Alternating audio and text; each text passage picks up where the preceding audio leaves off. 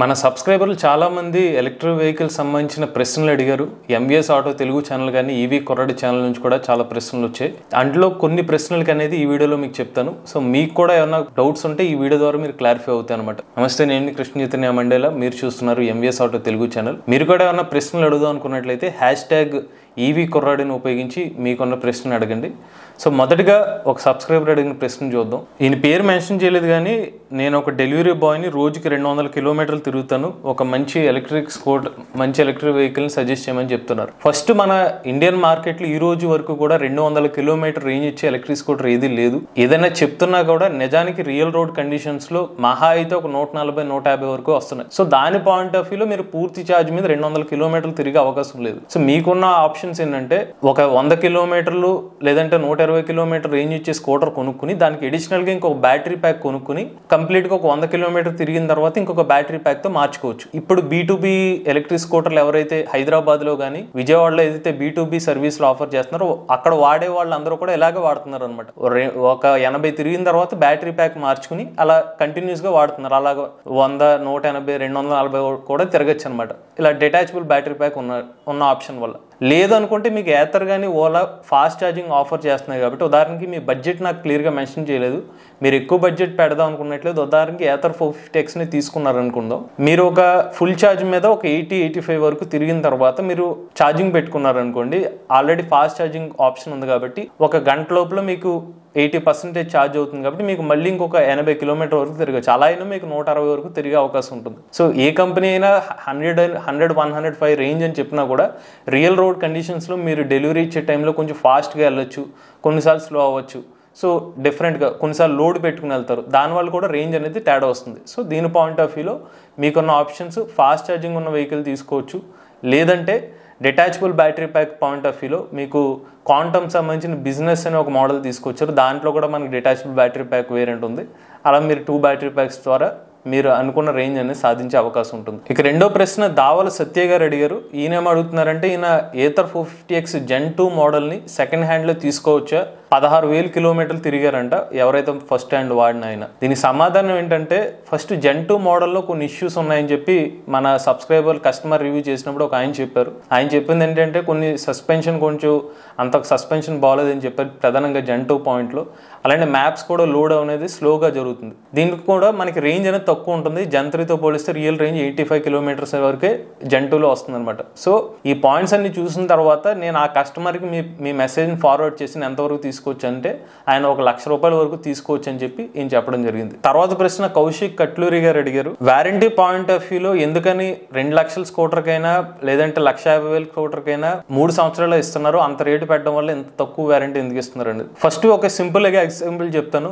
వాస్తవానికి రెండు రెండు రెండు సమాధానాలు చెప్పొచ్చు. వీళ్ళు యూజ్ చేస్తున్న బ్యాటరీ కెపాసిటీ ఏదైతే ఉంటుందో వాళ్ళకి అంత ఆర్ఎండి చేయని వల్ల తక్కువ వారంటీ ఇవ్వచ్చు. రెండోది ఎక్కువ ఐదు సంవత్సరాలు వారంటీ ఇస్తే కనుక కస్టమర్లు ఇష్టం వచ్చినట్టు వాడతారు కాబట్టి వారంటీ ఇష్యూస్ అంటే ఉదాహరణకి ఐదు సంవత్సరాలు ఇచ్చేసారు అనుకోండి దాంట్లో కస్టమర్ ఐదు సంవత్సరాలు ఉంది కదా అని సరిగ్గా ఛార్జింగ్ చేయకపోవడం వల్ల ఎప్పుడైనా ఒక బ్యాటరీ ప్యాక్ని జీరో వరకు వదిలేశారు అనుకోండి దాని లైఫ్ టైం తగ్గే అవకాశం ఉంటుంది. అందువల్ల కేర్ఫుల్గా తీసుకుంటారనే ఉద్దేశంతో చాలా కంపెనీలు మూడు సంవత్సరాల వరకు ఇస్తారు. నిజానికి లిథియోమ్యాన్ బ్యాటరీ ప్యాక్స్ క్వాలిటీగా యూజ్ చేస్తే కనుక ఐదు సంవత్సరాలు ఈజీగా లైఫ్ లైఫ్ టైం అనేది వస్తుంది. బట్ దీనికి ఎక్స్ప్లెనేషన్ ఇంకా ఎక్కువ ఎక్స్ప్లెనేషన్ అనేది ఇవ్వాలి. సో మీకు complete overall in depth explanation ఇంకొక వీడియో చేస్తాం. ఇక తర్వాత ప్రశ్న ద్వారకానంద గారు అడిగారు. నాకు చిన్న ఇన్ఫర్మేషన్ కావాలి. మ్యాటర్ ఎరా ఈవీలో ఐదు కిలోవాట్ అవర్ల బ్యాటరీ ప్యాక్ యూజ్ చేస్తున్నారు కదా. ఎందుకని నూట ఇరవై కిలోమీటర్ రేంజ్ చేస్తున్నారు ఇతర స్కూటర్లో నాలుగు కిలోవాట్ అవర్లకి మూడు పాయింట్ ఎనిమిది కిలోవాట్ అవర్లకి నూట డెబ్బై లేదా రెండు వందల ముప్పై కిలోమీటర్ రేంజ్ ఇస్తున్నారు కదా అని అంటున్నారు. నిజానికి ఏదైతే నూట డెబ్బై రెండు వందల ముప్పై అని చెప్తున్నారో అవి అవి రియల్ రేంజ్ కాదు సర్టిఫైడ్ రేంజ్ అనమాట అంటే లోడ్ లేకుండా ఒక సింగిల్ రైడరు ఒక పర్టికులర్ ఇరవై ఐదు ముప్పై స్పీడ్తో వెళ్తే వచ్చే రేంజ్నే వాళ్ళు చెప్తూ ఉంటారు. ఇప్పుడు మ్యాట్రెరా ఇవి ఏదైతే చెప్పారో వాళ్ళు నూట ఇరవై నూట ఇరవై ఐదు కిలోమీటర్ రేంజ్ ఏదైతే చెప్పారో అది రియల్ రేంజ్ అనమాట. మీకు ఒక ఫార్టీ ఫైవ్ ఫిఫ్టీ స్పీడ్ వెళ్ళినా కూడా రియల్గా నూట ఇరవై ఐదు కిలోమీటర్ రేంజ్ అని దాని ఉద్దేశం. మీరు ఇంకా స్లోగా వెళ్తే మీకు ఎక్కువ రేంజ్ వచ్చే అవకాశం కూడా ఉంటుంది. బట్ మిగిలిన కంపెనీలు చెప్తున్నాయంటే అవి సర్టిఫైడ్ రేంజ్ అని చెప్తున్నాయి. రియల్ రేంజ్కి చాలా తేడా ఉంటుంది. యాభై అరవై కిలోమీటర్లు తేడా వస్తుంది అనమాట ఇక తర్వాత ప్రశ్న ఆన్లైన్ షాపింగ్ అంటే పేరు మెన్షన్ చేయలేదు. లాస్ట్ ఇయర్ అయినా అక్టోబర్లో ఓలా ఎస్ వన్ ఎయిర్ని ఎనభై వేల రూపాయలు బుక్ చేశారు. ఇప్పుడు లక్ష పదివేల రూపాయలకి ఉంది. నాకు ఏ ప్రైస్కి ఇస్తారు? ఇది నిజంగా బాధాకరమైన విషయం ఏంటంటే కంపెనీలు చేసిన తప్పు వల్ల కస్టమర్ల మీద భారం పడుతుంది. లాస్ట్ ఇయర్ పెట్టిన ప్రైస్కి ఇప్పుడైతే నిజానికి ఒక కంపెనీ న్యాయంగా చూసుకున్నట్లయితే వాళ్ళు పాత ప్రైస్కి ఇవ్వాలి. బట్ ఏ కంపెనీ కూడా పాత ప్రైస్కి ఇవ్వరండి. కొత్తగా గవర్నమెంట్ తెచ్చుకున్న రూల్స్ పాయింట్ ఆఫ్ వ్యూలో సబ్సిడీ పాయింట్ ఆఫ్ వ్యూలో చూసి కొత్త ప్రైస్కి ఇస్తారనమాట అది కంపెనీలు చేసిన తప్పు నిజంగా అయితే ఒక మరి మీ కం ఈ బండి ఎప్పుడు లాంచ్ అవుతుందో తెలియనప్పుడు ముందుగా ప్రీ బుకింగ్ డబ్బులు ఎందుకు తీసుకున్నారనేది కంపెనీ వాళ్ళు కస్టమర్కి సమాధానం చెప్పాల్సిన అవసరం ఎంతైనా ఉంది. ఇది ఓలా ఎస్ వన్ ఏరియానే కాదు చాలా ఎలక్ట్రిక్ వెహికల్ కంపెనీల వల్ల కస్టమర్లు ఇలా నలిగిపోయారు. ఎంతో డబ్బులు కూడా వాళ్ళు వేస్ట్ చేసుకున్నది వాస్తవం. తర్వాత ప్రశ్న సభాపతి రెడ్డి గారు అడిగారు. నేను గ్రామంలో ఉంటాం నేను రైతుని మట్టి రోడ్స్ ఉంటాయి. లగేజ్కి ఒక మంచి ఎలక్ట్రిక్ వెహికల్ చెప్పండి. అంటే టీవీఎస్ ఎక్సెల్ లాగా ఓజోటెక్ కూడా చూశాను. ఇటువంటివి చెప్పండి. So Ozotec Bheem electric scooter గురించి మీరు మాట్లాడుతున్నారు. ఓజోటెక్ బీమ్ అనేది వీళ్ళు ప్రీ బుకింగ్స్ తీసుకుంటున్నారు కానీ ఎప్పుడు డెలివరీస్ అనేది వాళ్ళు కంప్లీట్గా క్లారిటీ ఇవ్వాలి. ఇప్పుడు మీరు మార్కెట్లో పాయింట్ ఆఫ్ వ్యూలో చూసుకున్నట్లయితే డెలివరీస్ పాయింట్ ఆఫ్ వ్యూలో ఎక్కువగా ఇక్కడ హీరో ఎన్వైఎక్స్ హెచ్ఎక్స్ మోడల్ అనేది యూస్ చేస్తున్నారు. లేదంటే మనకి క్వాంటమ్కి తాజాగా బిజినెస్ అనే మోడల్ తీసుకొచ్చారు. బట్ మీరు అన్నట్టు టీవీఎస్ ఎక్సెల్ అంత బిల్డ్ క్వాలిటీ కావాలనుకున్నట్లయితే కొంచెం టైం మీరు ఆగడం బెటర్ అండి. ఎందుకంటే తాజాగా ఎవెంటోస్ ఎనర్జీ వాళ్ళ ఎస్ వన్ టెన్ మోడల్ ఒకటి తీసుకొస్తున్నారు. అది కంప్లీట్గా స్ట్రాంగ్ మెటాలిక్ బాడీతో తీసుకొచ్చే మోడల్ అనమాట ఇంకొకటి TVS excel point of view చూసుకున్నట్లయితే మీకు కైనెటిక్ లోనా స్కూటర్ కూడా తీసుకొస్తున్నారు. ఆల్రెడీ వాళ్ళు కంప్లీట్ డిజైనింగ్ అంతా అయిపోయిందనమాట మేబీ ఒక రెండు మూడు నెలల్లో మార్కెట్లోకి వచ్చే అవకాశం ఉంటుంది. అది మీకు complete build quality point of view TVS excel టైప్లో మీకు ఉంటుంది. కాస్త టైం అనేది వెయిట్ చేయండి. తర్వాత ప్రశ్న నాగేంద్ర బాబు గారు అడిగారు ఏతర్ ఛార్జింగ్ స్టేషన్లో ప్రైసింగ్ పెడతారు అంటున్నారు కదా వాటి ఫుల్ ఫుల్ డీటెయిల్స్ చెప్పమని. ప్రస్తుతానికి అయితే ఏతర్ ఎనర్జీ ఏతర్ గ్రిడ్లో ఇతర ఎలక్ట్రిక్ టూ వీలర్స్కి ఛార్జింగ్ అనేది ఆపేశారు. కేవలం ఏతర్ స్కూటర్స్కి అలానే హీరో మోటార్ కాప్ వీడా వివన్ సంబంధించిన ఛార్జింగ్ మాత్రం ఎక్కుతుంది. ఇందులో కూడా ప్రైజింగ్ పాయింట్ అయితే ప్రస్తుతానికి అయితే ఫ్రీగానే ఆఫర్ చేస్తున్నారు. బట్ మనకున్న సమాచారం ఏంటంటే వీళ్ళ కనుక ప్రైజింగ్ స్టార్ట్ చేస్తే ఒక నిమిషానికి ఒక కిలోమీటర్ అంటే ఒక నిమిషం ఒక నిమిషం ఛార్జ్ పెట్టుకుంటే ఒక రూపాయి అనేది ఛార్జ్ చేస్తారు అనమాట ఇది మనకి ఇన్సైడ్గా వచ్చిన ఇన్ఫర్మేషన్ అది ఇంకా అఫీషియల్గా మనకి రాలేదు కానీ ఒకవేళ పెడితే కనుక నిమిషానికి ఒక రూపాయి ఛార్జ్ చేసే అవకాశం ఉంటుంది. తర్వాత ప్రశ్న ఎస్వి తెలుగు వ్లాగ్ అడిగారు. ఈయన పేరు మెన్షన్ చేయలేదు. ఇంట్లో ఛార్జింగ్ పెట్టే పెట్టినప్పుడు బోర్డు కెపాసిటీ వైరింగ్ ఏది వాడాలి ఎర్తింగ్ ఖచ్చితంగా ఉండాలి. ఫస్ట్ సాధారణంగా ఎలక్ట్రిక్ వెహికల్కి ఏదైనా కూడా నార్మల్గా మన ఇంట్లో వాడే వైరింగ్ సరిపోతుంది. అయితే మీరు ఎందుకు ఈ ప్రశ్న అడిగారంటే తాజాగా కొన్ని ఎలక్ట్రిక్ వాహనాల బ్యాటరీలు కాడడం వల్ల ఆ భయంతో అడుగుతున్నారు. క్వాలిటీ లేని బండ్ల వల్ల మన ఎటువంటి వైరింగ్ ఉన్నా కూడా ఇంట్లో ఆ బండ్లు కాలిపోయే అవకాశం ఉంటుంది. బ్రాండెడ్ వాహనాలు కానీ మంచి క్వాలిటీ ఉన్న బండ్లు ఏదైతే ఉంటాయో మంచి బ్యాటరీ ప్యాక్ వాడితే వాళ్ళకి నార్మల్గా ఉన్న వైరింగ్తో ఎటువంటి సమస్యలు ఉండదు. రెండోది వై ఎర్తింగ్ ఉండడం వల్ల మంచిదే మనకి. ఎర్తింగ్ ఉంచుకోవడం వల్ల ఫ్లక్చువేషన్స్ ఏమైనా ఉంటే కనుక మనకి ప్రాబ్లమ్స్ రాకుండా ఉంటాయి ఇంకొకటి సాధారణంగా ఏ ఎలక్ట్రిక్ బండి కంపెనీ అయినా కూడా వోల్టేజ్ ఫ్లక్చుయేషన్స్ వచ్చినా కూడా ఆ- ఛార్జర్ దాన్ని కట్ ఆఫ్ చేసే ఛార్జర్ని యూజ్ చేయాలి. తాజాగా AS one five six standards point of వ్యూలో ఛార్జర్కి సేఫ్టీ రూల్స్ కూడా తీసుకొచ్చారు. నిజానికి మన ఇంట్లో ఎటువంటి వైరింగ్ ఉన్నా కూడా ఆ ఛార్జర్ దాన్ని మానిటర్ చేసే ఛార్జర్ని తీసుకురావాలనేది గవర్నమెంట్ పెట్టిన రూల్ గవర్నమెంట్ పెట్టిన రూల్స్ని ఫాలో చేస్తే కనుక మన ఇంట్లో ఎటువంటి వైరింగ్ ఉన్నా కూడా అది ఛార్జర్ అనేది కట్ ఆఫ్ చేసే అవకాశం ఉంటుంది. నాణ్యత లేని ఛార్జర్లు కానీ సరైన క్వాలిటీ లేని వాహనాలు యూజ్ చేయడం వల్ల ఇటువంటి ఫ్లక్చువేషన్స్కి తట్టుకోలేక సమస్యలు అనేవి వస్తున్నాయి అనమాట తర్వాత ప్రశ్న రైడర్ విత్ గనీ గారు అడిగారు ఈవీ కన్నా హైడ్రోజన్ వెహికల్ బెటర్ నేచర్ మరి లిథియం అయన్ పాయింట్ ఆఫ్ వ్యూలో ఈ హైడ్రోజన్ వెహికల్ని ఎందుకు తీసుకోకూడదని? దీనికి సంబంధించిన ఒక సెపరేట్ వీడియో అనేది చేస్తాం హైడ్రోజన్ పాయింట్ ఆఫ్ వ్యూలో lithium ion electric vehicle point of వ్యూలో త్వరలో తర్వాత ప్రశ్న కామెడీ స్టార్ రేవంత్ ఈయన అడిగారు స్మాల్ హెల్ప్ నేను డైలీ రెండు వందల ముప్పై కిలోమీటర్ తిరుగుతున్నాను. స్విగ్గీ చే- స్విగ్గీ చేస్తాను. మాకు మంచి ఈవీ సజెస్ట్ చేయమని. ఇందాక ఫస్ట్ ప్రశ్నకి ఫస్ట్ ఏదైతే ప్రశ్న నాకు సమాధానం చెప్పామో అదే మీకు మీ ప్రశ్న కూడా సమాధానం. రెండు వందల ముప్పై కిలోమీటర్ రేంజ్ అయితే ఏది కూడా మార్కెట్లో లేదు. మీరు డిటాచబుల్ బ్యాటరీ ప్యాక్ తీసుకుని ఒక బ్యాటరీని ఫుల్గా ఛార్జింగ్ పెట్టుకుని ఉంచుకుని అది అయిపోయిన తర్వాత ఇంకోటి మార్చుకోవడం ద్వారా మీరు మీకు ఉన్న రేంజ్ సమస్యను అధిగమించవచ్చు. తర్వాత ప్రశ్న ప్రసాద్ రెడ్డి గారు అడిగారు. నేను ఈ బైక్ని తీసుకుందాం అనుకుంటున్నాను బట్ మా ఆఫీస్కి కవర్డ్ పార్క్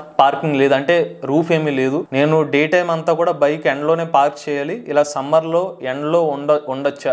నిజానికి ఒక ఎలక్ట్రిక్ వాహనం కానీ పెట్రోల్ వాహనం అని కూడా మనకి ఎండ కొంచెం నీడ మీద ఉండవు అనేది సురక్షితం అండి.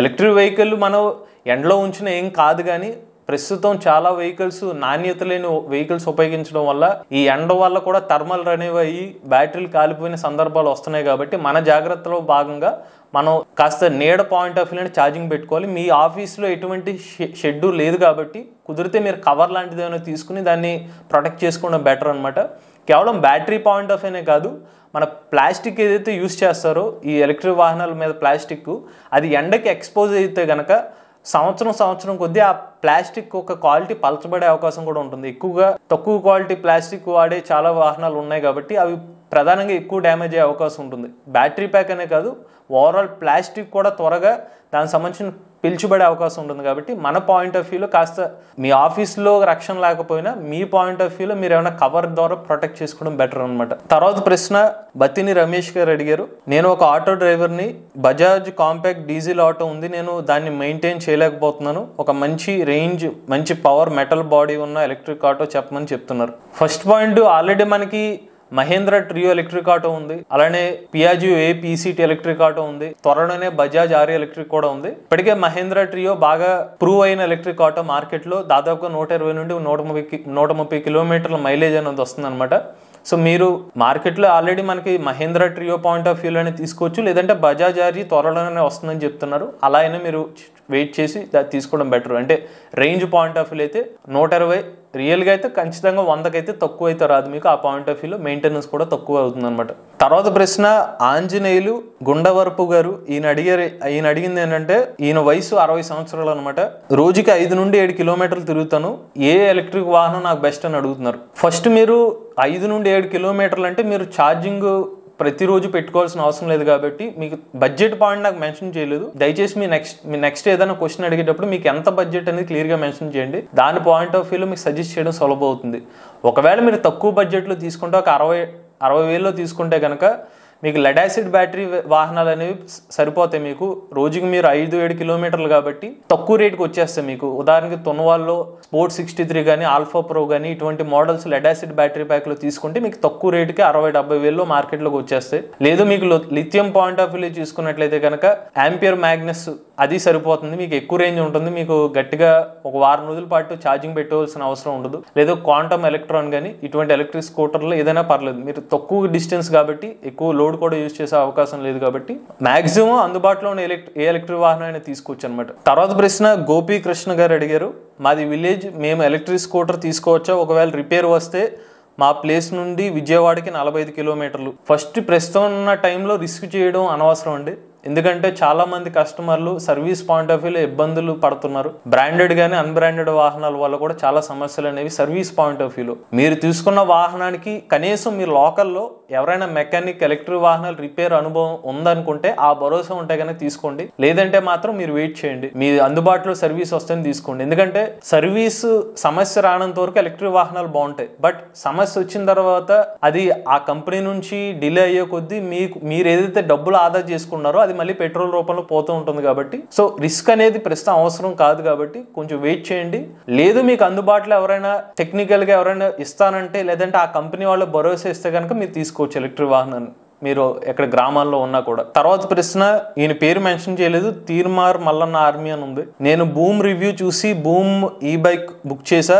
రెండు సంవత్సరాలు అయిపోయింది ఇప్పటి వరకు ఏం ఏం సమాచారం లేదు. సో వీళ్ళ Boom Corbett electric bike electric scooter గురించి చెప్తున్నారు. తాజాగా వాళ్ళు బిఎన్సి అని పేరు మార్చుకున్నారు. ఇప్పుడు ఛాలెంజర్ పేరుతో వాళ్ళు ఎలక్ట్రిక్ స్కూటర్ని తీసుకొస్తున్నారు.